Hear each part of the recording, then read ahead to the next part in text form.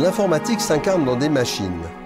L'homme s'est d'abord fabriqué des outils, c'est-à-dire des objets simples à utiliser. Puis, il a fabriqué des machines, c'est-à-dire des outils qui utilisent une force autre que la sienne et qui peuvent exécuter de manière autonome certaines opérations, même complexes et programmées, comme pour le métier à tisser de jacquard. Mais la machine mécanique ne sait pas se modifier elle-même.